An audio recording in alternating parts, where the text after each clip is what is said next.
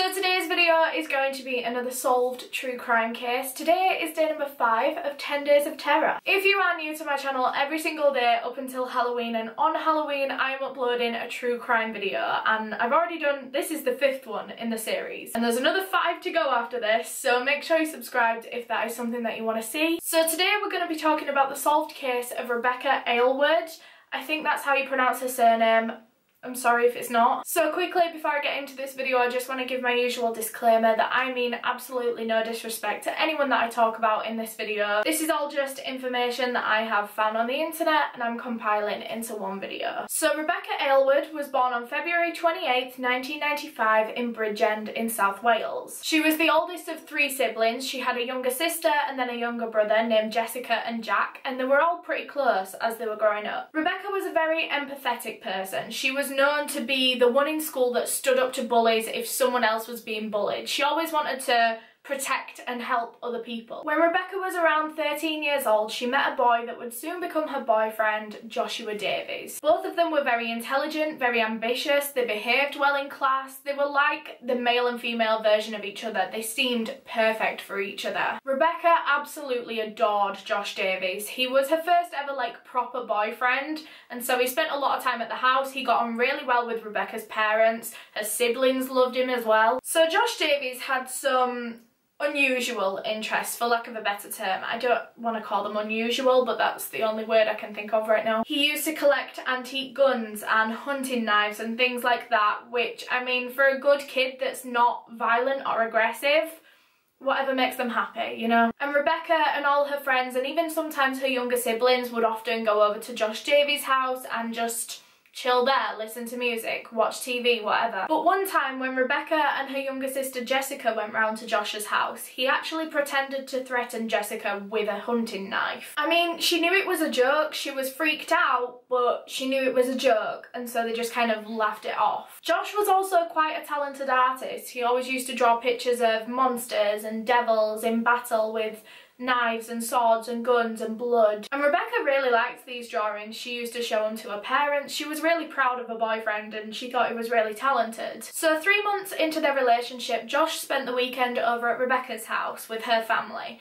And just before his mum picked him up on the Sunday evening, he actually told Rebecca's parents that that was the best weekend of his life. They were laughing and joking all weekend together. Rebecca painted Josh's nails. They were taking photos together, playing games together. They were really happy. However, just a couple of hours after leaving Rebecca's house, Josh broke up with her. And Rebecca's mum said that she was devastated. She just couldn't understand why. They'd just had a really good weekend together and then just hours after he left, he texted her breaking up with her. She couldn't understand what had changed. And after the breakup, Josh's attitude towards Rebecca just completely flipped on its head. He was spreading rumours about her, saying that she was pregnant to everyone. He was kind of bullying her. He suddenly seemed to hate her and he wanted everyone around her to hate her as well. But since they shared a lot of the same friends, this didn't really work. At one point, one of their friends just said to Josh, look, just forget Rebecca even exists, just ignore her. You're going to be leaving school soon, you'll never have to see her again then. To which Josh replied that just being aware of her existence made him angry.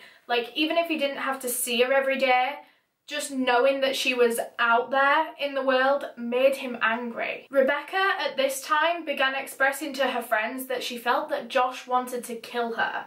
The bullying had been going on for months and it wasn't showing any signs of slowing down either. And her fears weren't all that far-fetched because what Rebecca didn't know was that Josh was discussing with his friends all the different ways in which he could kill Rebecca. And obviously his friends didn't think he was being serious. They all just thought he didn't like her and so he was just saying all these kind of out there things. He was talking about how he could take her to a local bridge and push her off or maybe even try and get her to jump off herself. But like I said, Josh was into all kinds of dark stuff. He collected knives, he collected guns, he used to draw devils and monsters and blood and knives and battles and things However, as a person, he didn't really have like a violent or aggressive nature at all and so his friends just didn't think much of it. Eventually, after a few months, things seemed to cool down between Josh and Rebecca. They weren't friends again, they weren't back together again, but the bullying just kind of stopped. They were in the same friendship group, they had to spend a lot of time together, and so Josh just decided to give it a rest. However, he secretly still hated Rebecca. And then in the summer of 2010, Rebecca fell really ill and she was spending a lot of time in hospital. She was vomiting, she was having blackouts, and doctors did so many tests on her, yet they couldn't diagnose this illness. They had no idea what was wrong with her. All of her friends, while she was in hospital, continued to text her, ask how she was, come and see her and things. Yet Josh didn't even text her once. Josh's life was just kind of carrying on as normal. He was acting as if Rebecca didn't even exist, even though they shared all the same friends. All of her friends were talking about how she was in hospital, how she was really ill, yet he just didn't seem to care. So Josh and his friends had this kind of tradition where every Saturday morning they would all meet up at a local cafe and eat breakfast together. And on this one particular Saturday they did exactly that. They went to the cafe, they got their breakfasts and Josh, as he often did, began talking about killing Rebecca. And as I've been saying, Josh's friends didn't believe him in the slightest. They thought that they were just really outlandish claims just because he didn't like her. He was just kind of joking about how much he didn't like her, like exaggerating it. And so this time, one of his friends decided to put a bet on Josh's outlandish claims. This friend said to Josh, right, if you do kill Rebecca like you're saying that you're gonna, the Saturday after, I'll buy you a free breakfast. And normally these kind of bets are done with higher stakes. So someone will make a really outlandish claim and you'll say, if you do that, I'll give you a hundred pound. Because you don't believe they're gonna do it. So you don't believe that you're gonna have to part with a hundred pounds. His friend didn't think that he was gonna have to buy him a breakfast. He didn't think that Josh was being serious. And Josh said okay then, they all laughed at this joke and then it became like a running joke in the group that if Josh did kill Rebecca like he said he was gonna, he'd get a free breakfast. And they used to like bring it up quite a bit, laughing about it. Meanwhile, Rebecca was discharged from hospital. She recovered from that illness that they never found out what it was. She returned to school in September and she just kind of started fresh. She got a new boyfriend, she just seemed like a complete different person. She was moving on with her life. And Josh didn't like that. Suddenly, Josh liked Rebecca again. He was friends with her, he was kind of jealous of her boyfriend, and a lot of people thought that he wanted to be with her again, like her boyfriend. And this whole time, Rebecca felt the same way. She'd always had feelings for Josh. She said that she always would. She would have dropped anything to be with him if he changed his mind. Then, on Friday, October 22nd, Josh texted Rebecca out of the blue saying that he wanted to meet up with her and implied that they might get back together. Rebecca was ecstatic. She ran downstairs, she showed her mum all the chats, and then they noticed that Josh had changed his profile picture on Facebook. This was something that Josh would do when he was about to do something big, when he was about to make a big decision. So say he was about to ask Rebecca to be his girlfriend again, he would change his profile picture because he was doing something big. And this time, Josh had changed his profile picture to a picture of the local woods and Rebecca and her mum couldn't quite figure out what that meant because normally the picture would reflect the event that was going to happen in his life. So say he was starting a new school he would change his profile picture to the picture of the school. So they couldn't quite understand why he changed it to a woods but they knew that this meant that he was about to do something big. And so this only made Rebecca even more excited that he'd changed his profile picture the night before he asked to see her and implied that they were going to get back together she thought that maybe that meant that he was definitely going to ask her out. So the next morning, on Saturday, October 23rd, Rebecca woke up, she was all excited, she was about to meet Josh and probably get back with him. Her mum, Sonia, recalled Rebecca singing and dancing about her room while she was getting ready. She'd bought a full new outfit to wear, she just seemed so happy. Meanwhile, Josh was having his usual Saturday morning breakfast at the cafe with his group of friends, and he actually left early to go and meet Rebecca. As he was getting up and getting his things ready to leave, he turned turned to his friends and said, the time has come. So Rebecca got dropped off at the train station where she was supposed to be meeting Josh and she waited there for about 10 minutes and he never showed up. And then she got a text from Josh saying, change of plans, meet me at the park. And so she set off to this park instead. So she got to the park and Josh wasn't there. So she waited a bit longer thinking that he was on his way there she was there for another 10 minutes and then she started fearing that maybe Josh wasn't going to turn up. Maybe he'd stood her up. So Rebecca rang her mum while she was waiting at the park for Josh. She was just kind of explaining the situation when she got another text from Josh this time telling her to meet him in the village. At this point, Rebecca was still on the phone to her mum, who said she wasn't happy about Rebecca walking all this distance between all these different places to go and meet him. And so she made Rebecca stay on the phone to her as she was walking from the park to the village, just in case Josh was standing her up, maybe he was messing her about, sending her to all these different places. She just wanted to stay on the phone with her daughter. So eventually Rebecca got to the street in the village where Josh had told her to meet him, and again, he wasn't there. She waited for a few more minutes and she was just about to get upset about it when she saw a boy walking down the hill that she thought might have been Josh. Her mum stayed on the phone the whole time. She was saying, are you sure it's Josh? She said this over and over again and Rebecca was saying, I think so, I think so. And then he finally got up close and Rebecca said, yep, this is definitely Josh. And Sonia, Rebecca's mum, said that normally when she'd be on the phone to Rebecca and Josh was around, he'd normally say something down the phone to her. He'd normally shout, hi or how are you, Sonia? But this time he was silent and he'd never been silent before. He didn't even say hi to Sonia on the phone phone, he just stood in silence and waited for Rebecca to get off the phone. Anyway, Rebecca said, bye mum, love you. She put down the phone and then went off with Josh somewhere. Around four hours later, at 5pm, Rebecca's mum Sonia got a text from Rebecca's auntie saying that she'd tried to get in contact with Rebecca but it hadn't worked her phone was off or something, so can she pass on a message? And this worried Sonia a little bit because normally Rebecca was really good at answering her phone, she never let it run out of battery,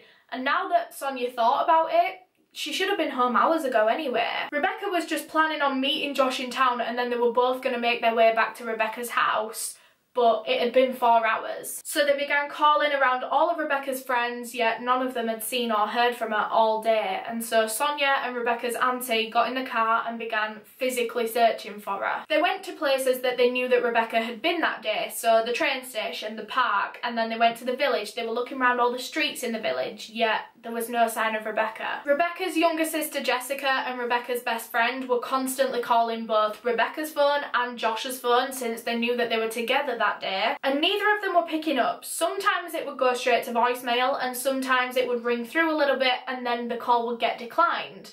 So they knew that the phones weren't switched off. They knew that someone was intentionally not answering the phones. But by around 8 or 9 o'clock that evening, it was dropping dark. There was still no sign of Rebecca. At this point, she'd been gone for around 7 or 8 hours and so Sonia decided to report her missing. And then finally, around an hour after Sonia had officially reported Rebecca missing, she finally got in contact with Josh Davies, who said he'd never actually seen Rebecca that day. He'd actually been at his grand's all day. But a couple of hours before that, he'd posted on Facebook that he was with friends. But I mean, either way, he still wasn't with Rebecca. But he said he did speak to her that day on the phone when she was actually in the village. He said that he was stuck at his grandma's all day and he wouldn't be able to go and meet her. To which Sonia said, so that wasn't you that was with Rebecca when she was on the phone to me in the village? And Josh just said, no, that wasn't me. But Josh did seem pretty worried. He seemed almost equally as worried as Sonia was, and so they agreed to tell each other if they had any developments and they ended the call. That night, all of Rebecca's friends took to social media, including Josh, spreading awareness of her disappearance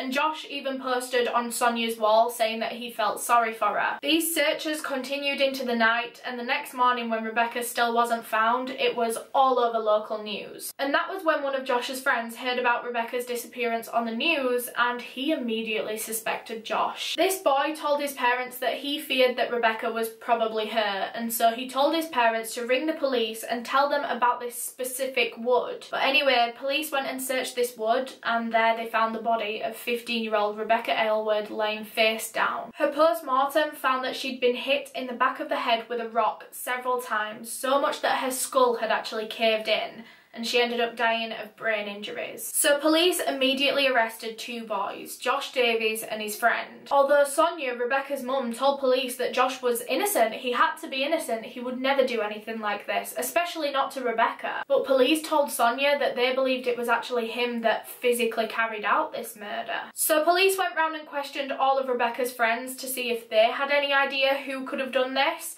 and every single one of them said the same name. Josh Davies. So Josh Davies was charged with the murder of Rebecca Aylward and his trial began in July of 2011 and it was then during his trial when police found out that this probably wasn't Josh's first attempt at killing Rebecca. During the search of Josh Davies' home, police found several bottles of homemade poison made using deadly nightshade, foxglove and Coca-Cola, done by Josh himself. And while it can't be proven that these were meant for Rebecca, they didn't have a name on or anything like that, but based on evidence and based on the fact that he did end up killing her, Police believe that they probably were intended for her. And poisoning was one of the methods that Josh talked about quite a bit when talking with his friends about the many ways in which he could kill Rebecca. And on a search of Josh's phone records, police found that just days before the murder, Josh had texted his friend saying, Don't say anything, but you might just owe me a breakfast. And then on the day of Rebecca's murder, about an hour after she got off the phone to her mum, Josh's phone records showed that his friend texted him saying, Are you with Rebecca? To which Josh replied back,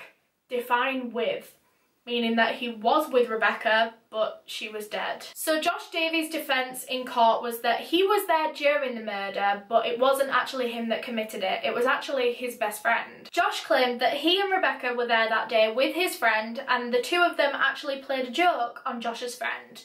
And that was when the friend got mad and began hitting Rebecca over the head with a rock. So the judge asked Josh to recreate how his friend hit Rebecca over the head with this rock. And you could just tell by the way that he was doing it, he was doing it from memory. He was reenacting what he'd done to Rebecca. But one of Josh's friends testified to say that Josh was the killer and that Josh had even taken him to see Rebecca's dead body. Josh told this friend that he'd initially tried to kill Rebecca by snapping her neck. But, and this is a quote from Josh, it's harder than you think. And when that failed, Rebecca realised Josh's intentions. She began screaming, she began trying to fight him, she began trying to run away, and Josh realised that he had to kill her now. She was going to run off and tell someone that he'd tried to kill her, so now he had to kill her to shut her up. So Josh panicked, he looked down at the floor, saw this huge rock, and just picked it up and began hitting her over the head with it. And Josh said that the worst part of the murder for him was feeling and seeing Rebecca's skull cave in. On July 27th, 2000 2011, Joshua Davies was found guilty of the murder of Rebecca Aylward and he was sentenced to life in prison with a minimum of 14 years. And that completes this video. Thank you so, so much for watching. This is a super, super sad one. She was so young. It's especially so sad when you remember how much she adored this boy. She was willing to drop everything, her new boyfriend, everything to go and meet him. She was so happy when he asked to meet up with her. She was dancing around a room. She thought that they were going to get back together but that whole time Josh was planning to kill her. Like it's just so sad. It's so sad. And I don't know if this is going to come across the wrong way, but I'm glad that that morning Rebecca was happy and she was hopeful, thinking that she was going to get back together with this boy. She must have been so happy and excited that day. I don't know at what point things turned for the two of them, but I hope it was relatively fast that things happened. I hope she wasn't thinking for a long time that she was going to die. I'm just going to stop talking, you know, because I'm making things sadder by the second. But yeah, thank you so, so much for watching this video. If you enjoyed, make sure you leave a thumbs up because that really helps me out. Subscribe if you want to see some more content like this. Like I said, I'm doing 10 Days of Terror on my channel. Every single day there's going to be a new true crime video. So if that is something you want to be a part of, make sure you subscribe to this channel. Quickly before I end this video, I just want to say a massive thank you to all of my new channel members I only announced it yesterday and there's already so many of you so thank you so so much. It does mean the world to me that you want to support me that little bit more, that you believe in my content and you believe in me as a creator. It just it does make me really happy. So thank you so much if you are a channel member and if you're not a channel member, don't worry. I love you all so much. You're all amazing. Support me in whatever capacity you can or whatever capacity that you want to don't feel like you have to give me money for these extra perks. Only do that if you want the perks. Don't feel like I'm sitting here asking you to do that. Don't feel like I'm forcing you to do just I'm I'm sorry. I'm I'm rambling. But yeah, thank you so so much for watching and I'll see you tomorrow for a serial killer video. Bye.